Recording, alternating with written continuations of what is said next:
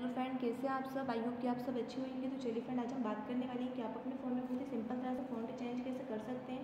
तो फ्रेंड इसी वीडियो में हम आपको बताने वाले हैं। वीडियो की पूरी जानकारी के लिए वीडियो लाकर ज़रूर देखना है। अगर आपने अभी तक हमारे चैनल को सब्सक्राइब नहीं किया है तो आपसे रिक्वेस्ट है कि आप हमारे चैनल को सब्सक्राइब कर लें। बहुत सिंपल सिंपल स्टेप है जो आपको देखनी है फॉलो करनी है। आइए वीडियो स्टार्ट करते हैं। आप अपने फ़ोन में फ़ोन चेंज करने के लिए सबसे पहले अपने फ़ोन की सेटिंग को ऑन करेंगे। सेटिंग बाद में यहाँ से आपको काफ़ी सारे ऑप्शन देखने को मिल जाते हैं, जिसमें से यहाँ से आपको एक ऑप्शन देखने को मिल जाता है डिस्प्ले का डिस्प्ले पे क्लिक करेंगे डिस्प्ले पे क्लिक करने के बाद में यहाँ से आपको फ़ोन साइज़ पे क्लिक करना है। क्लिक करने के बाद में यहाँ से आप अपना फ़ोन इस तरह से सेट कर सकते हैं। देखिए फ्रेंड बहुत ही सिंपल है।